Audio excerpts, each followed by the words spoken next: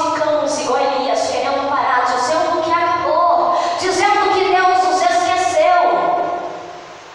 Mas Deus não esquece de nenhum de nós. Ele tem o melhor para mim para a sua vida.